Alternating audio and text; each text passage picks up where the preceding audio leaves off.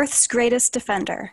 SNARC is an all ages comic book that combines science fiction, history, social commentary, human interest, and humor. With SNARC 2, The Continuing Adventures of SNARC, our favorite intergalactic traveler and his cosmic staff, SNARC must find a way to save humanity from the reptilian inhabitants of his home planet, Marone. So, with me today is Dr. Bruce Solheim and Gary and Laura Dumm. So thank you so much for joining me today to talk about this awesome comic. Yeah, thank you. Thank you, Sarah. Thank you. Thanks, Sarah. No problem. So for those of us who, you know, I, I'm familiar with SNARC, but for those of us who aren't familiar with, with SNARC, give us a little background about how this comic came to be and then where you're headed with number two. Okay, well, it's uh, I guess I'll chime in there. It's uh, it's a long story, so I know I, I got to tell a long story very in a very quick amount of time, short amount of time, uh, because it's really 37 years in the making. The SNARC. It started as a vision I had in a guard tower at a military prison. I was working as a guard in uh, the U.S. Army in West Germany when it was mm-hmm. East and West Germany, and I, you know, I had this idea of a, uh, alien human hybrid. Well, I, it didn't really flesh out until you know come out until I was working uh, in 1982 or ni- yeah 1982 at a school newspaper in Butte, Montana, Montana Tech. I was an engineering student, and uh, I decided to uh, write and illustrate a comic strip called Snark, then spelled with a K. And I got five uh, strips out and uh, it was very popular among the students and faculty and staff. And and then I flunked out of engineering school, so that was the end of Snark Phase One. And it didn't come back until uh, it was always in the back of my mind. I wanted to do something with it, but until January of 2019, when my second eldest son, Byron, who is an engineer, so he became what I could not become. He uh, he crafted and and uh, did a 3D or whatever you call it, with his 3D printer, he made a bust of the original Snark character, and uh, and then presented it to me as a late Christmas present in January 2019. Well, I was really inspired to to then do what I always wanted to do, which was to create mm-hmm. a comic book of the character. And of course, by that time, yeah, Gary and I had been working together on other projects, including a uh, history anti-textbook and some paranormal stuff. And um, paranormal books. And uh, so I asked Gary if he would be willing to illustrate SNARC, and it would be my lifelong dream to uh, to publish a comic book. And he luckily agreed, and so did Laura, uh, to do the uh, the color and the text or the you know the lettering. So uh, so that's kind of how how it happened. Wonderful. Now, Gary and Laura, what was what was it that drew you other than your existing friendship, to work on SNARC? Well, I've been a science fiction fan, fan, paranormal fan, probably for 50 years. So getting in on this seemed uh, the right thing to do. Mm-hmm. And when he throws something on my desk, I just agree. And we've always had this thing as to where we like getting in different projects. And that's mm-hmm. one nice thing about being a freelance, you know, artist or a freelance graphic artist or however, whatever title you want to give us. Um, it, you know, we get a lot of different interesting things to do. And so our life has really been uh, really fun. And this was just something that everything about it was good. And um, we, we just, I mean, I, I just said, sure no, mm-hmm. put that on my desk. I'll color it because it's fun. This is what I do. I, I color things. and there is, there is that aspect about the character of SNARC right. and the cosmic staff of being benevolent aliens and the idea of SNARC being a kind of naive to the ways of the earth, and as such, his voyage of discovery coming here to be the vanguard of an invasion and finding out, hey, these Earth people ain't so bad. Come. Yeah. I remember when Bruce and I first spoke, we were talking about the anthropological nature of snark and how exciting it is to kind of delve into humanity, you know, our, our own species from an outsider's perspective and, and approaching it that way. And, and I just think that's really wonderful and something that science fiction could stand to see a little bit more of. I mean, invading aliens are fun, but it's kind of fun to, to see the benevolence, like you said. Well, and also, SNARC is a little bit almost a little bit childlike because he doesn't know, like Gary said, doesn't know the ways of the, the earth. So mm-hmm. to him, everything is kind of new and and I guess exciting. I don't know, but that sort of is how a child looks at things too. They kind of get excited about it, and SNARC gets excited about things. At mm-hmm. least I think he does. oh no, he, he you guys are right on. I, I you know, I I like to deal with social issues, but I don't want to do it in a pedantic way, you know, that would uh, where we would lose people. Right. But yet, I still think they're important to deal with. So it's safe to do it. That, as you said, Sarah, you can, you can do it w- through the eyes of a child, or the eyes right. of an innocent, or as Gary explained at one time, the innocent abroad kind of genre. You know, mm-hmm. well, you where, always need that little bit of humor or that little bit of yes of, of you know, where people are able to relate to to the, the character. I mean, a little sidebar that will take 10 seconds. Our, our series of paintings that we did, we used classic monsters. Mm-hmm. And to like get our message across, everybody knows those classic monsters. So it is kind of a thing that you, you want some kind of friendly um, uh, um, thing that's going to draw people in. And I think SNARC definitely draws people in. Mm-hmm. It's important to have that. There's nothing friendlier than Frankenstein. well, to me. well, to me too. And that's the other aspect. As an artist, I've pretty much, from an early age, felt like an outsider, an observer of this existence. I mean, obviously, I've made connections here on this planet, but the fact of the matter is, there's sometimes when I sit and I look at what humans do, and I go, I'm really a part of this. No. Yeah, mm-hmm. I am. Yeah. Yeah. I think that's that's true for a lot of creators. Almost everyone I speak to, especially in speculative fiction, I think we have that idea that we aren't somehow we aren't as connected to humanity as a whole as it seems like other people are whether or not that's just you know our, our perception or not. And i i think that is often what drives a lot of people to create is to create these worlds where maybe they might be included more or they have a better understanding of what it is to be human. I, I, I think you're all right. And I, I think of that you know, of, of, of Bertolt Brecht, who said that art is not a reflection, it's a hammer on society. Wow. Mm-hmm. That's good.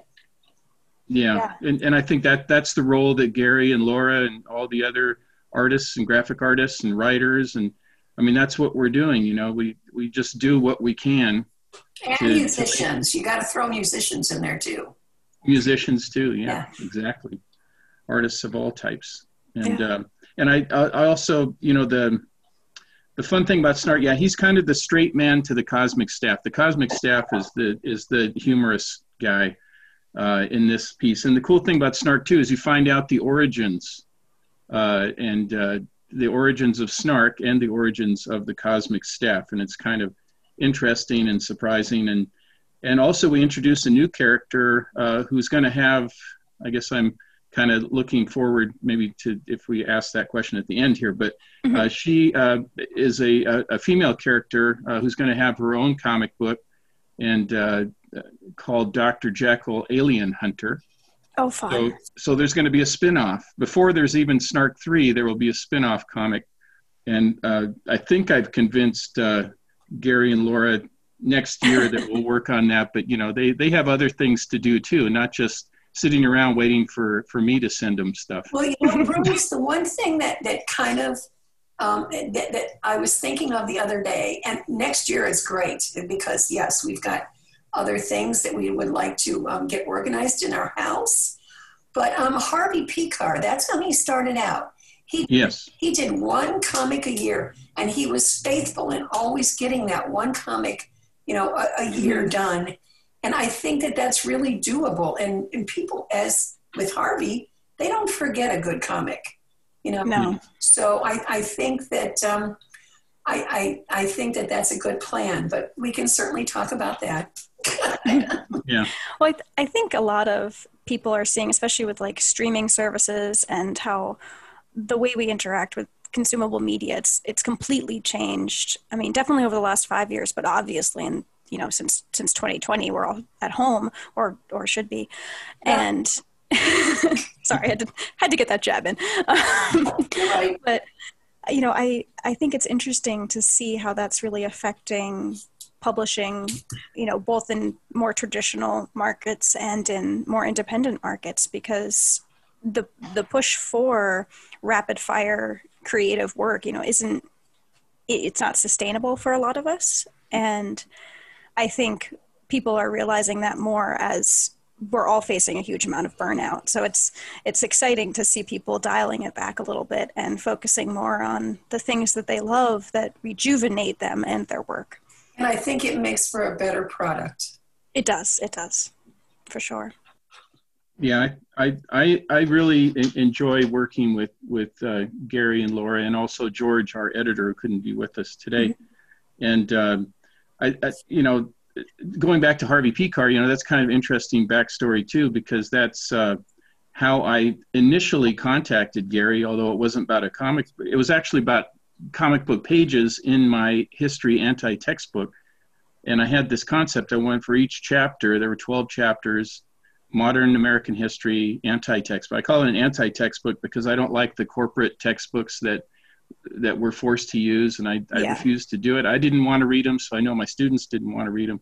So I created my own, and I, I had a copy of American Splendor, Harvey mm-hmm. Pekar's, uh, you know, from the 70s, mm-hmm. and I looked through it, and of course, you know, you always notice uh, Robert Crumb, you know, but I looked at Gary's art and I go, this is, I, I like his art a lot. It, and he reminds me a lot of my friend growing up, Larry Jost, who has that, that retro, very clean style, comic right. book style that I love. And it just, it just spoke to me. So I just, on an off chance, I, I think I sent you a, just a, uh, a cold call email and Gary said, "Let's let's talk about it. Let me see the manuscript," and then that's kind of what started it. So Harvey Pekar really got us together. You know, Harvey Pekar really has has given us a lot of work. you know, God bless him because uh, um, it, it, was just what is that word? Synchronicity.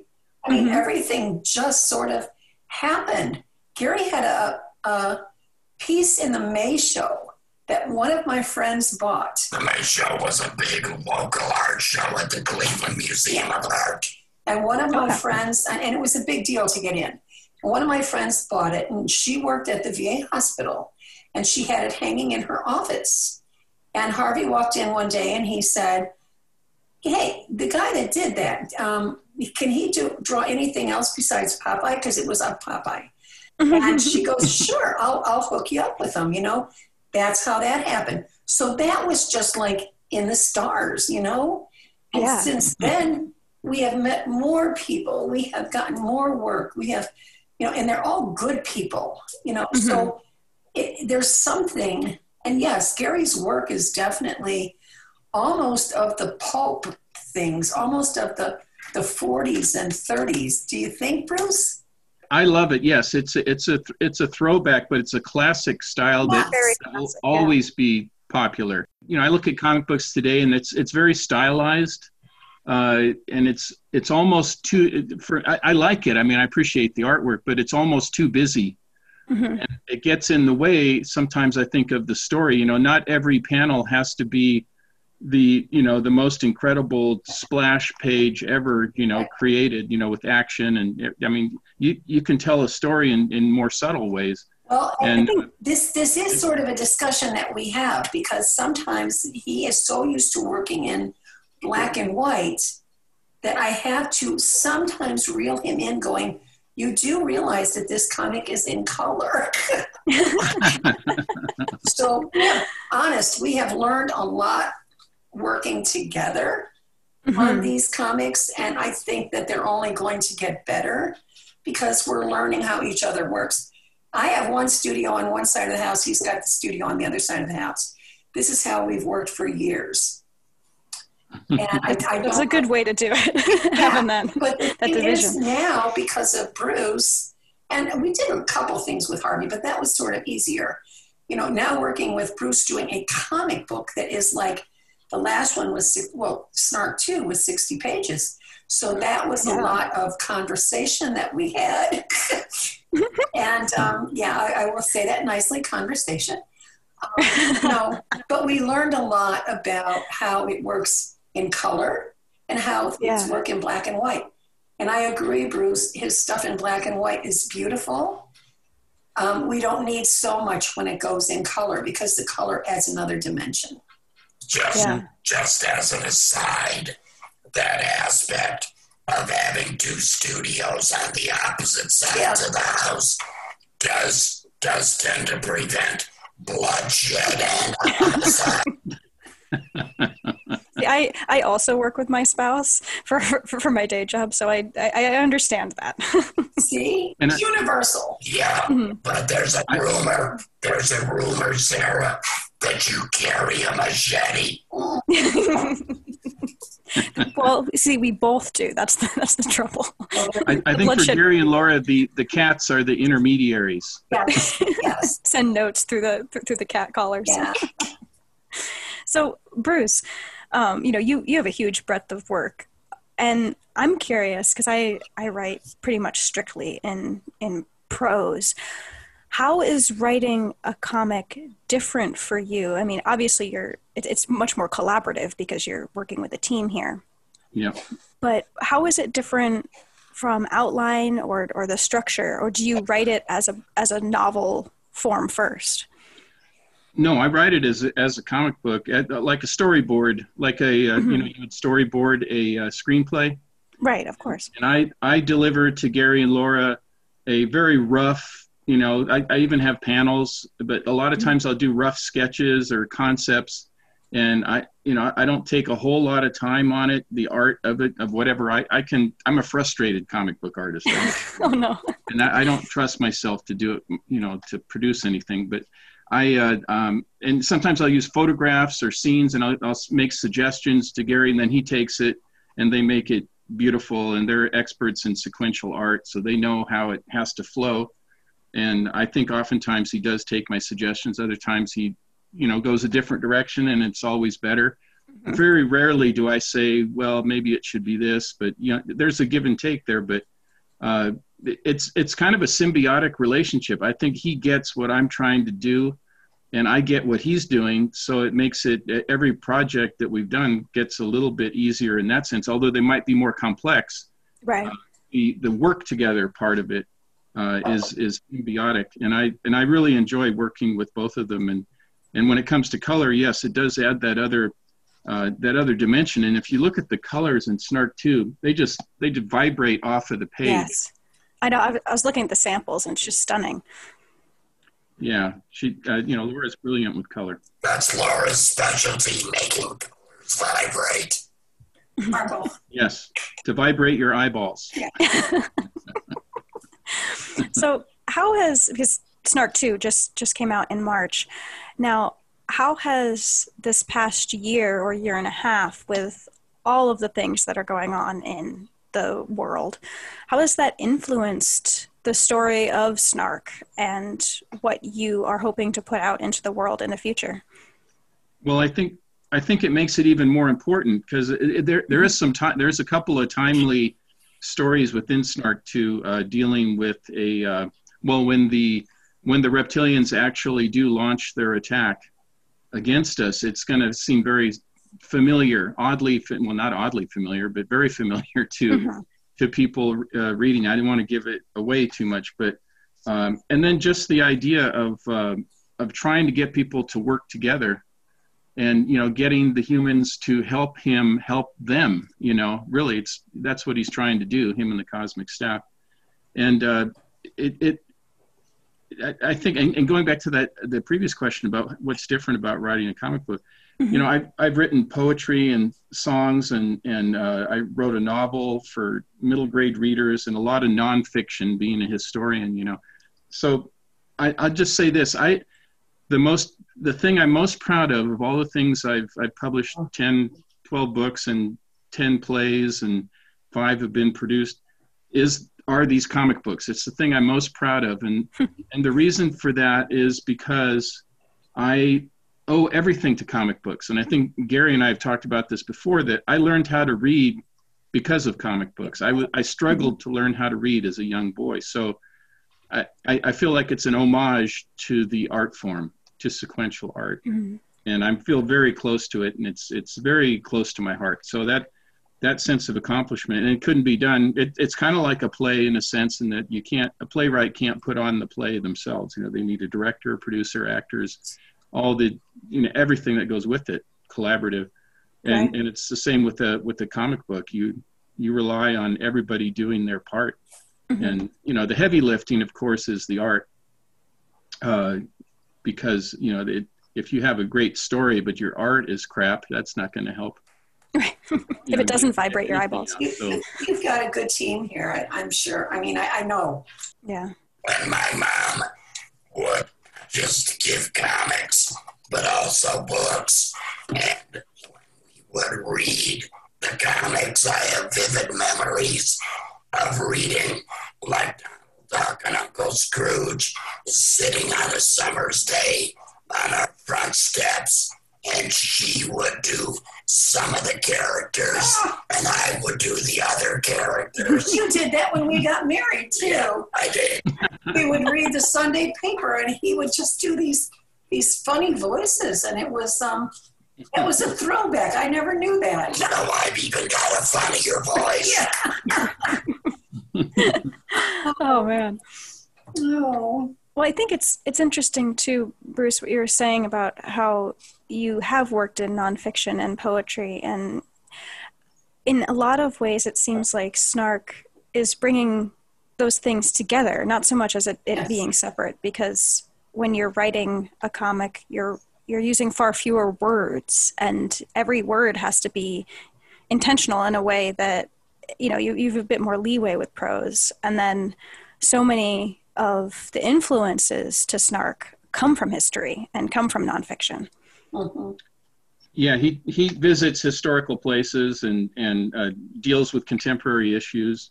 And uh, but I it's an all ages comic book. I always like to make and that's something Gary and I talked about and, and Laura talked about early on and George that I wanted to make it all ages because uh, I didn't want anybody to be excluded and I thought we could do it, we could pull it off and let adults be interested too, because we could do it with the inspiration of like the, the Rocky and Bullwinkle show, Yay. Mm-hmm. which I loved as a kid. And, you know, that show, watching it now as an adult, is much different than when you were a kid. But yet, when you're a kid, you loved it too. And you love it in a different way when you're an adult because it's it's written in a way, it's produced in a way that where adults find it, you know, they find the hidden humor that the kids might not so that, that, that's what I was shooting for uh, with with SNARC, and humor is a big part of it. And I know Gary has a great sense of humor. He, in fact, he has contributed some of the of the puns and funnier things in the comic book that I didn't have in the original. You know, when I'd written it, and he suggested something, and I always go with it because he's got a very good sense of humor. Thanks. There is that aspect too of with coincidentally Uncle Scrooge that was the best ones at least were written and drawn by the genius Carl Barks. He mm. layered his stories so that would be exactly like SNARC, that it can be appreciated by a child can be more appreciated by a teenager and can be most appreciated by adults. Yeah. Yeah. And, That's so true. You know, it's kind of funny. And this is a secret that I've never revealed to anybody that's interviewed uh, uh, that I, I kind of see, you know, Ginger told me, she said, I, I think you're kind of like SNARC, you know, and, and if that's true, if I am SNARC, then that Gary, that makes you the cosmic staff. Oh God, you know that's true. Because I'm the straight man. oh God. I take that as high praise. Oh, good. I'm glad. I, it's meant as high praise. when we were dating, Gary got a, a, a best friend that he shared an apartment with, and they were like the king of puns. I mean, the two of them when they were. So he's been doing this forever, Bruce. Yeah. So he's the cosmic staff. There we go. That's forth. secret revealed to your listeners. you heard it here first, folks. Oh, Yeah, you heard it here first. Exactly. That is so funny. So, give us, I mean, you, you already sort of hinted at it, so that's exciting, but give us a little glimpse of what's coming up next for each of you and where people can find your work. Oh, Yeah, Gary and Laura, you guys go first. Well, there's a big secret that's not a secret. This past May, Abrams Comics Arts released a graphic novel that I did with a local author, Scott MacGregor. Its title is Fire on the Water, and it's about the building of Cleveland's infrastructure under Lake Erie to bring clean water to Cleveland. This historical based graphic novel is set a hundred years ago, and the infrastructure that was built then is still being used.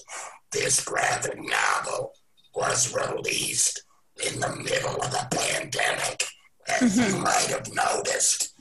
And so all promotion for it online, no in person promotion.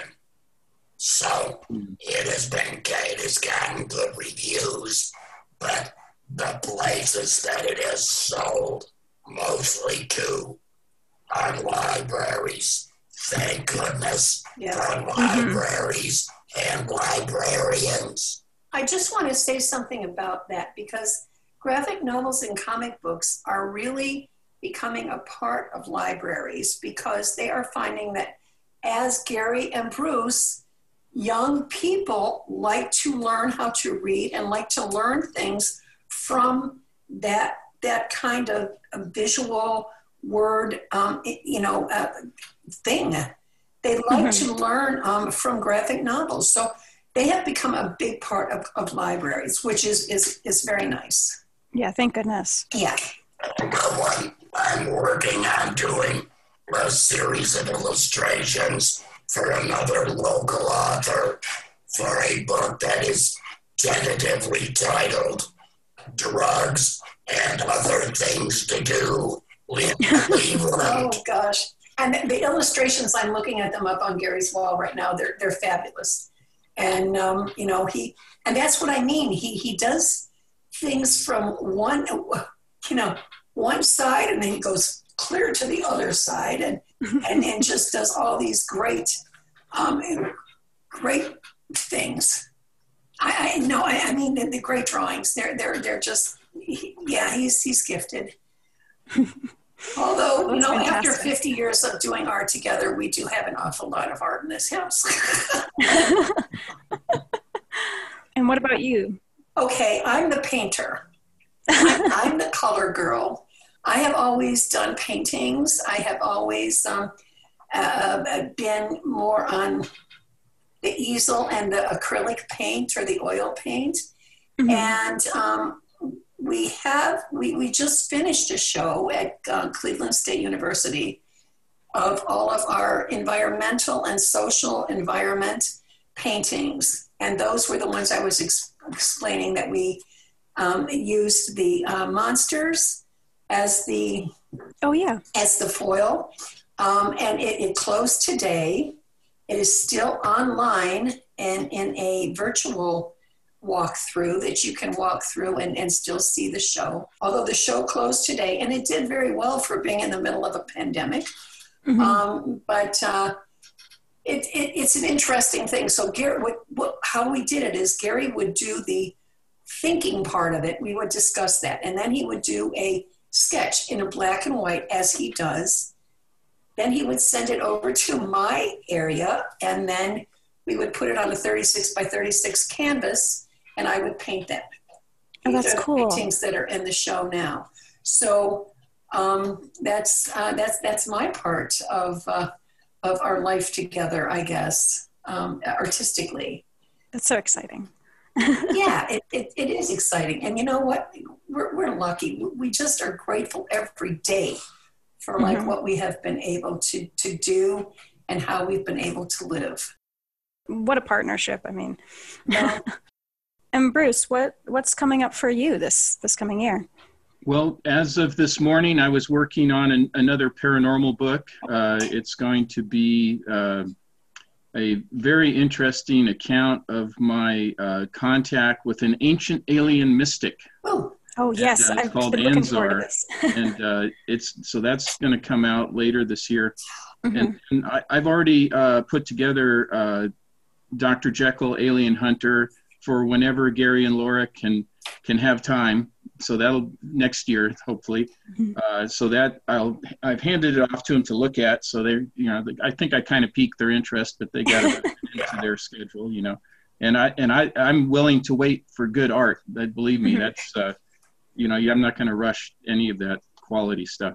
Um, and so those are the things I'm doing. I'm, I'm, uh, people can find me at bruceolavsolheim.com, uh, all the plays that we're doing. And oh, by the way, I should mention yes, SNARC. mention that.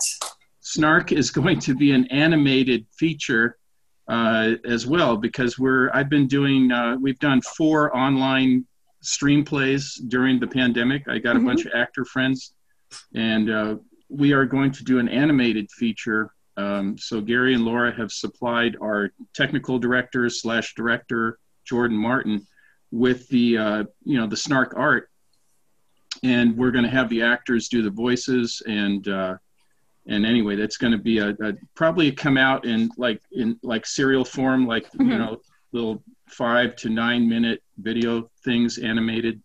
So yeah, SNARC is going to be uh, an animated feature too. And Yay. that'll be available online and yeah so That's so that, that's that's the stuff that we're we're doing there so it's it's all very exciting Well, that's wonderful.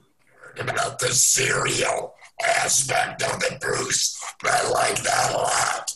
yeah i mean everybody can can can give five to you know nine minutes of their time to to you know to see if they dig it or not Yeah. and i think they will and that's kind of how you know it came out i didn't really plan it that way with SNARC but all the SNARC stories within the comic book and diff- and within the graphic novel there are like in in SNARC 2 there's 16 different stories in there all of mm-hmm. them have a thread but they're they're all in different locations And and I- different things I gotta say, Bruce, that was genius. No, Well, it I'm, was- I'm serious. it was ins- inspired by by extraterrestrials perhaps i don't know what it was something it was something i'm not going to take credit for it but thank you Nowadays, with everything being so instantaneous, with phones and with, you know, like uh, you, I mean, little snippets of things, you know, in order to do that, um, it, I, I think it was genius. So kudos to you. well thank you and i'm looking forward to that that animation thing and i know uh, gary and laura are too Yeah. well, now now I am as well. So And Bruce, there is another aspect to doing the shorter pieces. In my mind, to my mind, having, you know, 50 years of delving into comics, it is very difficult to write something that is short and sweet Yeah. and gets to the point and then link all of those pieces. Uh, again, kudos. well well thank you and i and i have to give a nod to my adhd i think that contributes to it Well, you know good. Hey, whatever works. I just wanted to thank all three of you for joining me today and Fine.